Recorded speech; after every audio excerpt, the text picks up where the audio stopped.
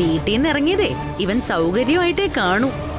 മധുരമയ്ക്കാണെങ്കിൽ ഇപ്പൊ കൺമണിയുടെ മുമ്പിൽ ലൈസൻസും ആയി. നീ ഇപ്പൊ എന്തിനാ വന്നത്? ഞാൻ വന്നത് ഒരു വാർണിംഗ് തരാനാ.